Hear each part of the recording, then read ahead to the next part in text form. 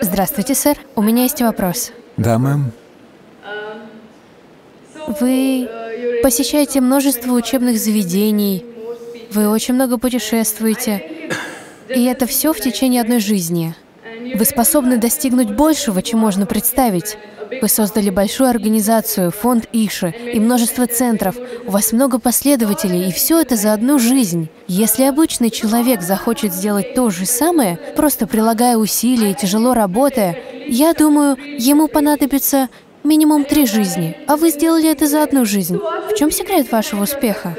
В детстве вы надували мыльные пузыри? Мыльные пузыри. Когда вы надували мыльные пузыри, вы видели, что у кого-то получается вот такой большой пузырь, а у вас только такой маленький. Нужно задержать дыхание, а затем медленно выпускать воздух. Тогда получится большой пузырь. У всех в легких есть воздух, но у кого-то получается большой пузырь, а у кого-то маленький. Что я хочу сказать? Когда это касается тела, это мое тело, это ваше тело. Это понятно на сто процентов. В этом нет сомнений, не так ли? Это мое тело, это ваше тело. Это мой ум, это ваш ум. Но что касается жизни, то нет такой вещи, как моя жизнь и ваша жизнь. Это живой космос. И от того, сколько жизни вы сможете удержать в своей системе, настолько же объемна и широка будет ваша жизнь. У кого-то большой пузырь, у кого-то маленький. Вот он лопнул. И вы уже не можете определить, где мой воздух, а где ваш. Не так ли? Таким же образом, когда мы говорим о жизни, не существует такой вещи, как моя жизнь и ваша жизнь. Определенно есть мое тело и ваше тело, мой ум и ваш ум, но не моя жизнь и ваша жизнь. Есть жизнь, изобилие жизни. Это живой космос. То, сколько жизни вы содержите внутри себя, определит масштаб и содержание вашей жизни. То, что один может сделать за сто лет, другой сделает за десять. Просто благодаря интенсивности своей жизни. Когда я говорю об интенсивности жизни, это можно истолковать по-разному. Например, в одно время мы видели рост некоторых компаний. Такой бизнес характерен для Соединенных Штатов. За три года вырастает многомиллиардная компания. Как, скажем, Microsoft или Facebook или им подобные. Во многом это происходит потому, что кто-то начинает использовать прорывные технологии. В другие времена такое произойти не могло. Так что это другое. Но если вы хотите создать что-то по-настоящему большое и значимое, хотя здесь важна не величина, а значимость, тогда вам необходима интенсивность жизни. Важно то, сколько в вас жизни. Я уже говорю, что йога стирает границы индивидуальности.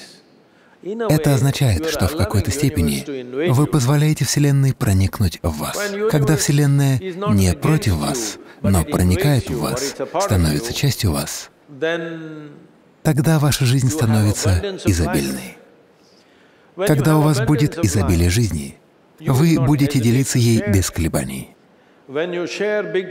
Когда вы делитесь большей частью своей жизни с другими, люди, естественно, будут это безмерно ценить, потому что они стараются ее накапливать. Если кто-то готов поделиться жизнью, естественно, вокруг него будет ажиотаж. Это приведет ко многим последствиям. У вас появится много друзей и много врагов. Множество людей, которых вы никогда не встречали, станут вашими заклятыми врагами, и вы не будете знать почему. Вы никогда их не видели, никогда не говорили с ними, но они называют себя вашими врагами. Я не знаю почему, но это продолжает происходить в мире. Когда мы говорим о том, сколько возможно сделать за короткий промежуток времени, Это не короткий промежуток, а 37 лет непрерывной работы, 7 дней в неделю, 20 часов в сутки, на протяжении почти 25 лет, даже больше. В среднем я спал от двух до двух с половиной часов в день. И я не лишал себя сна, просто поддерживал свою жизненную энергию настолько интенсивной, что сон не был проблемой. Было время, когда я не спал на протяжении трех-четырех дней и работал в полную силу. Вы не спите не потому, что принимаете какие-то вещества, а просто благодаря воодушевлению от целей и преданности тому, что делаете. Сегодня я с гордостью могу сказать, что вырастил тысячи людей вокруг себя, которые стали такими же сумасшедшими, как и я. Они все начинают работать в таком режиме. Мы не знаем, во сколько они ложатся, во сколько встают, но они работают неустанно, семь дней в неделю, без выходных и отпусков, и все они радостны. Если вы приедете в наш центр йоги, то увидите очень радостные лица, хотя эти люди ни разу не были в отпуске. У них нет никакой собственности, у них нет денег, но они радостны, потому что жизнь буквально опьяняет их.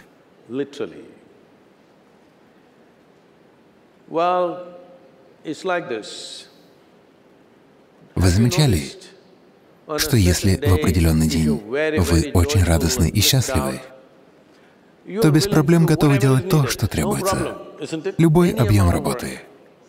Но небольшое разочарование, и вы еле передвигаете ноги. За последние 37 лет я ни разу не испытал разочарования. Не все идет гладко. Многие вещи происходят не так, как я хочу. Вообще-то, ничего не происходит так, как я хочу, это факт. Потому что то, чего я хочу, оно там. Но происходит постепенное движение к успеху. По причине абсолютной приверженности цели и сосредоточенности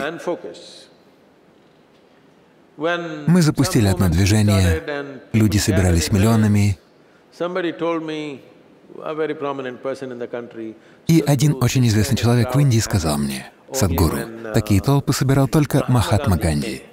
Я ответил ему, «Не надо сравнивать, потому что у Махатма Ганди было значительное преимущество. У него был враг. Было с кем сражаться. Когда есть враг, то легко собирать толпы людей. Сейчас я постоянно напоминаю людям, что в вашей жизни есть только один враг — это вы сами. Исправьте самих себя, тогда с вами все будет в порядке. Да или нет? У вас есть только один враг — вы сами. Если вы исправите себя, это будет великолепная жизнь. Без внешнего врага очень сложно двигать людей к цели. Но люди откликнулись поразительным образом, не только в Индии, но и во всем мире. Люди в различных странах сильно на меня давят. Садхгуру, вы сделали достаточно в Индии. Вы должны побыть там, здесь, сделать одно, другое. Зачем я все это рассказываю? Вы молодые люди.